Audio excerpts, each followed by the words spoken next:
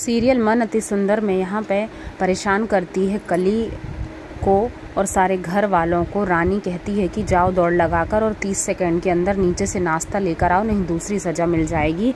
दौड़ लगाती है राधिका, पर सबको लगता है कि वह वापस नहीं आ पाएगी 30 सेकंड में, क्योंकि बहुत मोटी है, नीचे दिव्यम से टकरा जाती है और टाइम नहीं रहता तो नहीं बता पाती। बोलती मैं बाद में बताऊँगी।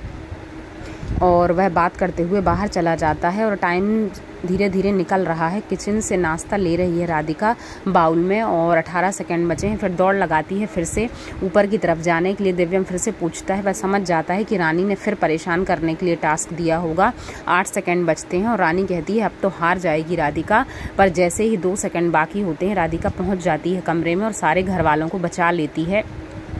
यहाँ दिव्यम कहता है कि तुम ऐसा क्यों कर रही हो? उसके इशारों पे क्यों नाच रही हो? वो दौड़ाएगी, भगाएगी तो भागोगी क्या? मैं तुम्हारी बात नहीं सुनूँगा। तो ज़बरदस्ती उसे पकड़कर खड़ा कर देती और कहती है कि मेरी बात आप नहीं सुन रहे हैं, इसलिए मैंने ऐसा किया है और मैं आपकी शादी की बात नहीं कर रही थी, मैं रानी के भाइयों की शादी की बात कर रही थी, क्योंकि अगर वो शादी करने वाले काम में फंस जाएँगे तो अपन को परेशान कम करेंगे और माँ को मना लेता है। दिव्यम कहता है, मेरे ऊपर भरोसा है कि नहीं? फिर रानी जब बैठी रहती है नीचे तो राधिका और कली नाटक करते हैं, काम करने का। और जैसे ही उसके भाई आते हैं तो उनके मन में ये चीज़ डाल देते हैं कि तुम्हारी रानी के ये जो नखरे हैं ना, तुम बर्दाश्त कर लोगे, पर तुम्हारी आने वाली बहुएँ कभी बर्दाश्त नहीं करेंगी। रानी को ये बात खटक जाती है और उनके भाइयों को भी ये बात लगती है कि कह तो सही रही है राधिका कि क्या पता हमारी बहन के नखरे हमारी दुल्हनियाँ उठाएँगी कि नहीं उठाएँगी, यहाँ से सुन लेते हैं।